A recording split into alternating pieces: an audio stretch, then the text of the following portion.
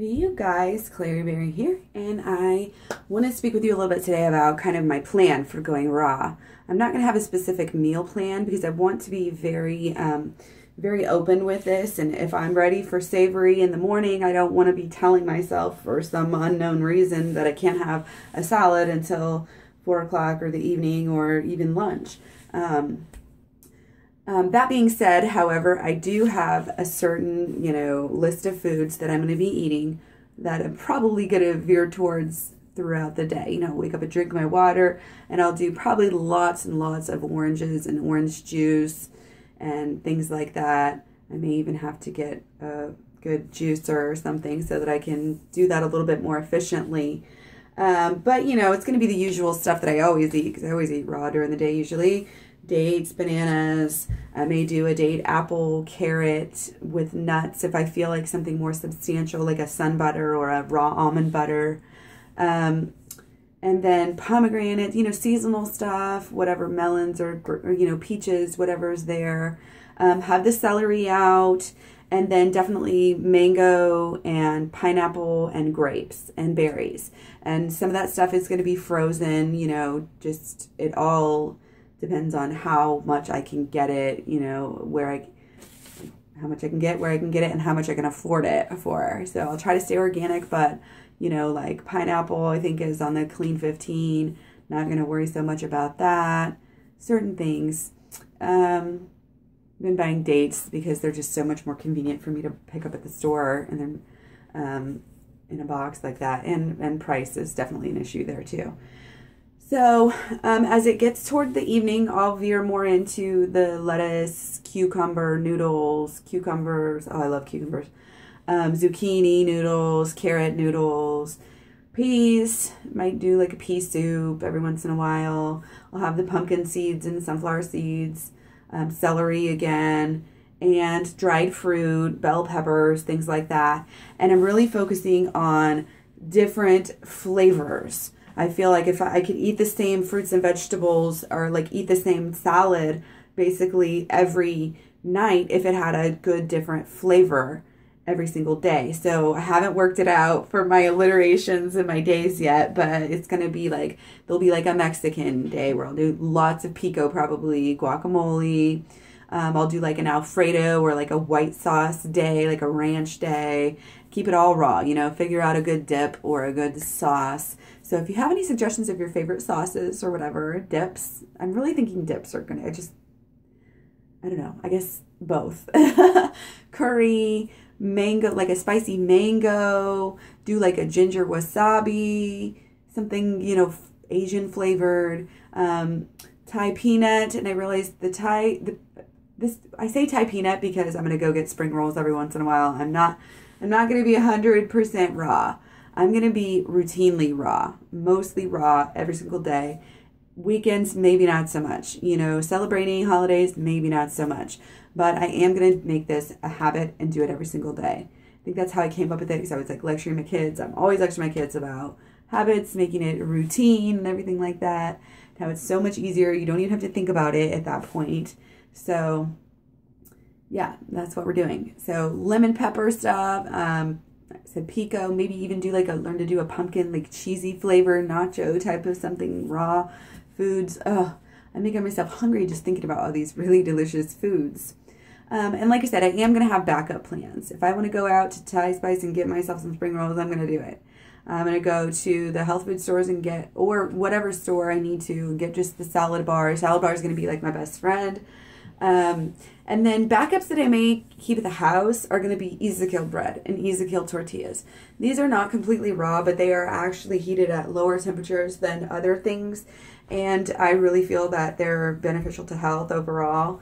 So, um, and I, I know that there's going to be times when I'm going to need that backup. I know that in, you know, the middle of winter, and being a busy mom, like this is just, I'm, I'm not going to even try to hold myself to any sort of fully raw or 100% thing because it's just it's not my goal and i you know i know i said i'm going raw so i like sorry if i you know threw anybody off there or upset anybody that way but I just don't see the point in taking that extra step to purity, to being 100% or even fully raw. You know, I, I realize there's going to be times when I want cooked food and I don't see the point in denying myself those things for a little tiny bit of extra purity. Now, if it starts making me feel bad, I may start to feel differently and I may start to you know, see that raw foods are even more for me than I ever thought. And I may never, I may go fully raw eventually. I'm never saying, I've learned to never say never with this whole situation. But like I said, I'm going to need, at least during my transition, to have these backup plans and have this fallback plan to say, well, this is better than, you know, all the other stuff I used to let myself eat, anyways. So, yeah, that's pretty much it. I'm going to be eating a lot of smoothies, a lot of fruit in the daytime, and a lot of basically salads with some seeds and maybe a tiny bit of nuts um, at night. And then I'm going to definitely be able to go back to the um, fruit. I'm just wanting to not rely on the nut butters and stuff so much because I don't want my fats to go up. That's why I want some really good low fat raw dips to use. And like I said, that's why I'd rather eat a little bit of bread, a little bit of um, something that's going to really fill me up, which is what which is where you're lacking. When you're trying to go raw, at least when I've tried to go raw in the past, I'm so reliant on carbs that, and I don't, and I'm so avoidant in fat that that was like what always made me gain weight is because I couldn't find the low fat carby food in a savory, you know, in, in with savory flavors. I just couldn't find that for something to eat at night. You know, I when I eat fruit all day, like I really want savory at the end of the day. It's like I need savory, but I need carbs, you know? So hopefully the salad I can work that out to get enough, you know, mango dressing on there and get enough carbs in there that way. But like I said, if I have to eat some some almost raw, you know, bread or something, I'm gonna do that before I'm gonna overdose on nut butter or something like that, or avocado, which is basically the other option. So, yeah, that's just kind of how I'm doing it. It's my approach, uh, routinely raw. That's what it's going to be.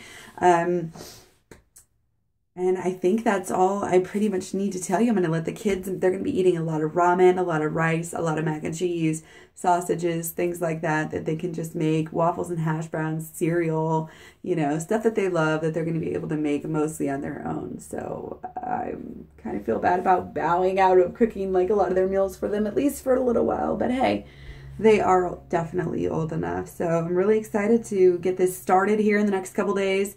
You might notice a video or two after this that are going to come out that is not raw. And again, this is before I'm actually going. I made the plan.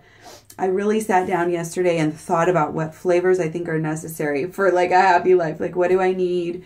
And, uh, you know, making the list. I'm really doing this in a prepared way because I do not believe that just jumping into raw, unless you're in the middle of the tropics and it happens to be the easiest thing in the world for you to eat completely raw, um, the rest of us have to really plan it out. And like I said in one of my first videos about going raw this time, I it, it even goes to having to clear out an extra space for all the extra fruit that's going to have to be on my counter.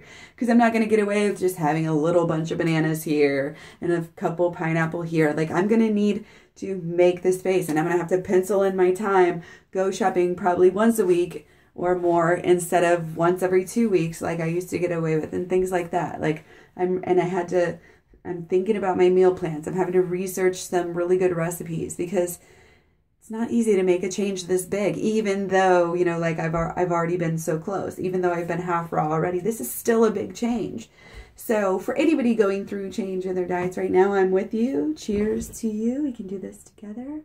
Uh, thank you again for everybody who watches and supports me. It's so great to hear encouraging words. Thank you from the bottom of my heart. Um, and I hope you guys are having a great day. Don't forget to like and comment. Let me know how you feel, what you think. I'm always open to constructive criticism and everything like that. So uh, don't forget to eat your fruit, and I will talk to you later. Bye.